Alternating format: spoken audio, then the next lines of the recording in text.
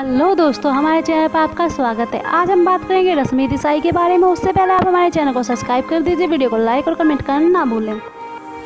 Big boss तेरह में बेहतरीन कंटेस्टर बनकर उभरी रश्मि देसाई का तेरह फरवरी को जन्म हुआ था। अब रश्मि तो बिग बॉस में थी, लेकिन उनके परिवार ने बड़ी धूमधाम से उनका बर्थडे सेलिब्रेट किया था।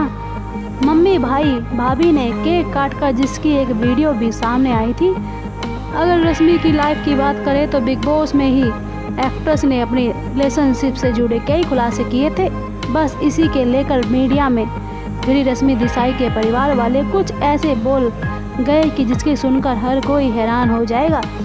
दरअसल रश्मि देसाई के मुँह बोले भाई वाहिद अली खान ने फरहान खान को लेकर भड़के दिखाई दिए उन्होंने तो अपनी पत्नी को भी बोलने का मौका नहीं दिया। वाहिद ने उनकी बर्थडे पार्टी में साफ़ कहा कि जब रश्मि ने मुझे बिग बॉस के बारे में बताया तो मैंने उनसे मना कर दिया था। मेरे मना करने पर भी वो ना मानी तो हमने उसे जाने दिया। अरहान खान के साथ उनके रिश्ते पर उनके भाई ने कहा, रश्मि, अरहान खान को हमसे एक पार्टी में मिलवाया था जहाँ मैंने उसे साफ़ कह दिया था कि, देख भाई, ये मेरी बहन है और अगर तूने आगे जाकर कुछ किया तो मैं तेरे गाल और मेरे हाथ होंगे। बिग बॉस में अरहान खान की गेम पर उन्होंने कहा अरहान खान ने मेरे बहन का गेम में इस्तेमाल किया है। अरहान खान कौन है? भाई कौन जानता है?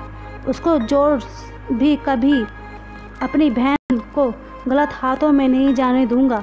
अरहान खान की बारी रिश्ते पर उनके भाई ने कहा, जब ये बिग बॉस में गया था तो मुझे कितनी कॉल आए? और सबके ने कहा कि इसने तो मेरे पैसे खाए हैं और मैं हैरान रह गया। बता दें कि रश्मि अपने कैरियर की शुरुआत बहुत ही कम उम्र में की थी। जो टीवी पर रावण शो में उन्होंने ब्रेक मिला था, लेकिन असल पहचान कलर्स के सीरियल उतरन से मिली थी।